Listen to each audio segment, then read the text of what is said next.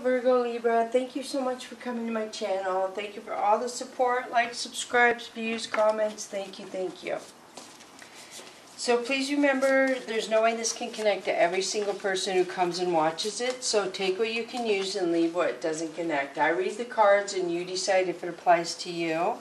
So the Oracle cards traditionally for me apply to you and the tarot cards are the people around you, but sometimes you come up in the tarot cards as well.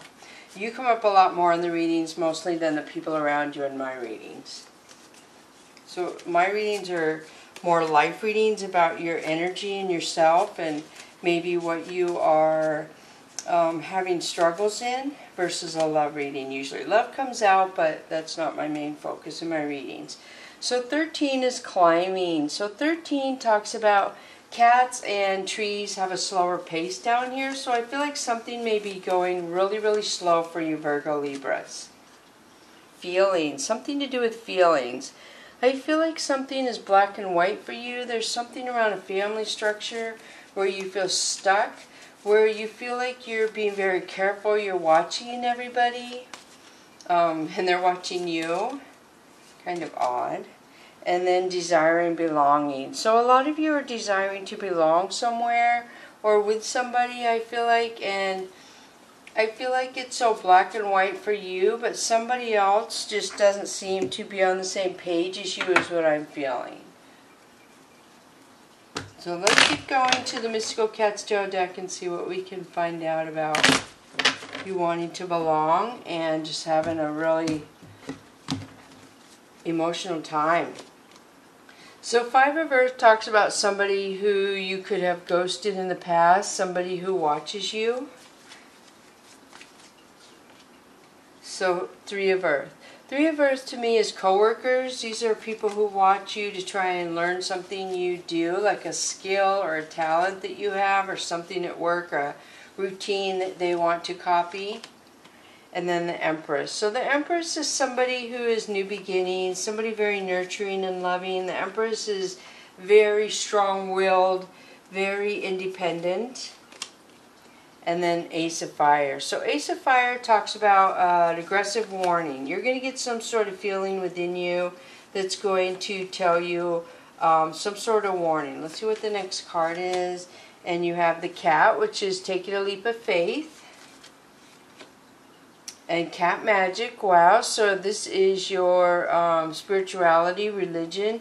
Your beliefs you're very grounded. You have a routine that you um, present that makes you feel safe and connecting with your higher power and your higher belief system of support. Um, you have your back to the Empress though if that's you and I do feel like that's you. So there's an issue with you and this Empress and then six of sky. So somebody's moving away from a situation. So somebody's moving away from you. You go a new direction. You choose something new and somebody's moving away from you. So Nine of Earth is your future looking very successful, very secure. I don't know if this is intimidating to this person or they have people around them um, that don't want them to be with you and are causing conflict. And then Nine of Sea, another card about you going, taking a leap of faith and going towards a positive, happy future for yourself. So you have two cards for a positive future.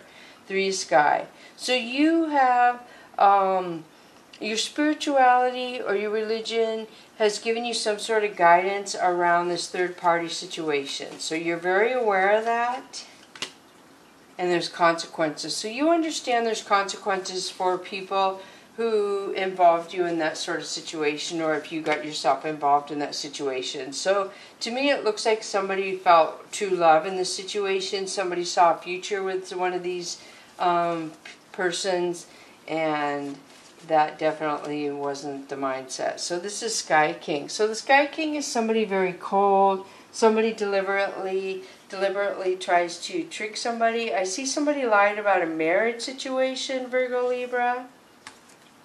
Yeah, they lied. They um, already had stuff going on. They're selfish and they tried to trick you. Shame on them. That is a horrible feeling to um, just fall in love or be attracted to somebody that lied about having somebody else. Just yucky. So the tower moment. So the tower moment, obviously, there's um, something's falling apart around it. It's true love for one person in the situation. So four of coins. So you're going to keep your love and your coins close to your chest. You're you're blocked. You're done. You're not opening up to this person. I feel. The lovers is Gemini placement. This could be who this person is, a Gemini, or this could be saying um, somebody new, Gemini, is coming towards you, trying to love up on you. But I feel like you're blocked. You're not open to that. Wow, four of wands. So somebody's trying to come around you, loving up on you with uh, marriage ideas in their head. Or maybe you're married and they're trying to fix it. So Four of Cups. So Four of Cups is somebody who has a lot of regrets. Um, they spent a lot of time in their past relationship thinking about it. They haven't. They're not over it. So Ace of Coins. So you're going to have success in your coins and your stability. You're going to stay blocked and focus on that, and not focus on love or um, lover anything like that. The Magician. So I do feel like a lover could be trying to trick you, Virgo Libra. Somebody could be doing, um, just trying to interfere with your energy, trying to manipulate you. And Knight of Cups. So Knight of Cups could be somebody coming in to offer love and apology, somebody younger than you. Next one is the Hierophant. So the Hierophant for me is spirituality, third eye. It could mean legal stuff, a lawyer, the court systems, and then Nine of Swords. So I do feel like somebody wants to come towards you and offer a marriage. I do see um, somebody spying and wanting to communicate and cause problems in this situation. Two of Cups, look at true love again. So what concerns me is they're coming at you, they spy on you, and they want to communicate, but it just seems aggressive. The swords are usually like not nice talking. Ace of Wands somebody sees you as very attractive, very physically beautiful. Um, didn't we get that up there in the beginning? I think we did. I'm going to look and see. Yeah, there's people watching you. You've got the Empress around you if that's not you. So yeah, you got a lot of people watching you, but somebody, a lot of people see you as very attractive. So I see a King of Wands wanting to come towards you. Um, I see there's some sort of delay, and then somebody else is coming in to offer an apology. Somebody wants to you to compromise and be flexible around money with them. Um, somebody's moving away from a situation. There's toxic energy. A player coming towards you that is toxic energy. He is not telling the truth. So be aware of that. It's like probably a little bit away. I would say a week or two, but I could be wrong. He could be coming in now because this could be him too right here. Okay, so the first one of the Soul's Journey lessons, friendship. I understand that a friend is in my life for a reason. So this is very strong to me because I know a lot of people try and hang on to people for a lifetime. And sometimes people are karmic. They come in our relationship to balance out karma from another life and move on. And when we try and hang on to them, we bring karma back in and then we have to balance it out in the next life. So when people come into your life and they want to exit your life um, to move on and go a new direction, just kind of let go of that energy. Don't force to hang on to somebody because that will be reciprocated to you. Say you want to move in a new direction, new job. If you hang on to people, then the universe will have people hang on to you and show you how tough it is to move in a new direction with people trying to hang on to your energy. So the next one is self-esteem. I possess gifts of the soul that benefit me and others. So this talks about how you um, have to have self-esteem in relationships. You know, people can turn on you after you've been friends with them for a while and show you a dark side and really knock your self-esteem down. So you have to go, you don't have to, you have free will to do whatever you want. But it's best to go into a relationship or even friendship, you know, with not expecting anything. Don't have expectations and just see what happens. Surrender. I can release my need to control. So somebody really wants to control. This is a petri dish to me where something happens really fast.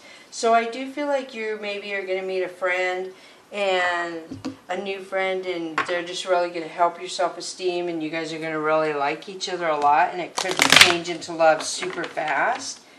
um, very fast, which is scary for a lot of people. So the dragon card for you is Temple of the Sun, beautiful Virgo Libra. This is happiness. Temple of the Sun. You're going towards your happiness.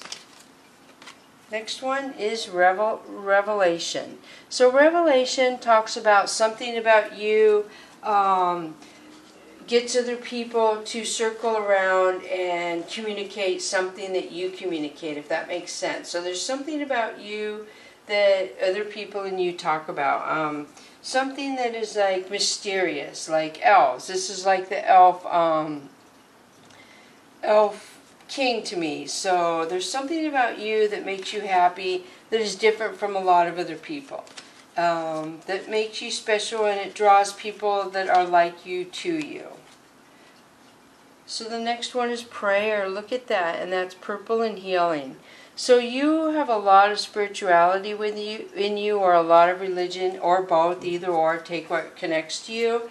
But you, um, here's some sort of cause I feel and prayers. So there's something, uh, underdog or group that you kind of have a soft heart for that you kind of try to be the king of. Like, how do I say this? Um, like Robin Hood, he kind of tried to go around and do good not that you're taking from the bad. You just, there's a group of animals or people or laws or something that you want to change, you want to do, fix and do good.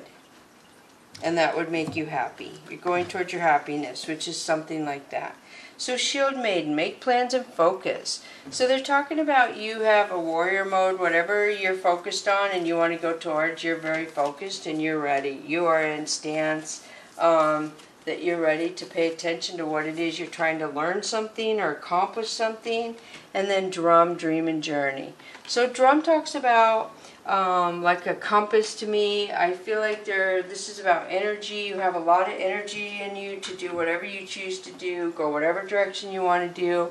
You're vibrating in the energy of peace is what the drum says to me. And there's something about you that connects with a lot of people because the drum in the book, Angels and Ancestors, it says the drum was used in all corners of the world and that it connects people to um, each other and a lot of different ceremonies and um, religions and stuff like that. So thank you so much for coming to Echo Catcher Tarot. Bless you, Virgo Libra.